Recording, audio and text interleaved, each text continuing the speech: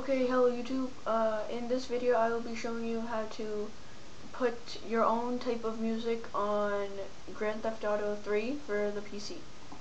So first what you want to do is you want to go to start, you want to go to computer, you click under, you look under hard disk drives, and then on my computer is Acer, so I'm gonna, so you double click Acer, well for whatever type of company you have for your computer, and then you want to go, you have to find the file program files.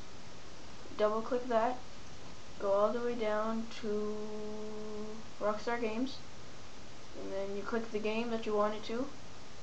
You go to MP3, and here I have a whole bunch of songs, and um, so since I already have a whole bunch of songs, I'm just gonna put one in.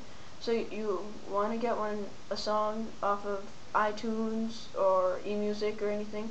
I use LimeWire and then you are going to want to take the song and put it onto your desktop and then you're going to dr drag it to your mp3 and it's going to ask you this.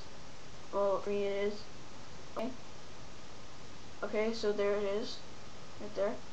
So then you exit and now here we will try it. And this works for any game for the PC it works for San Andreas Vice City and 3 well those are the ones that I have and it works on those.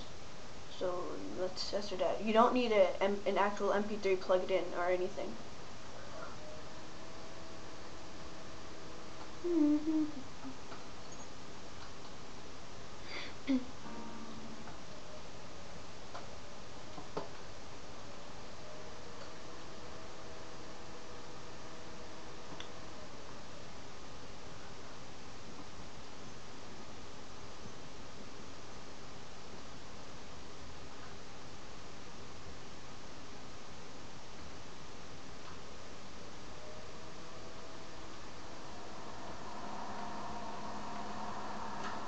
Okay.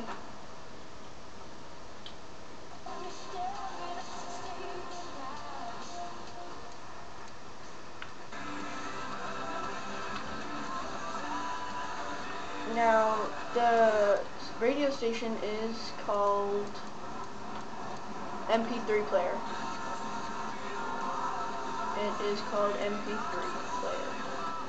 Uh, yeah, that's it. Rate, comment, subscribe. It works for Grand Theft Auto San Andreas and Grand Theft Auto Vice City.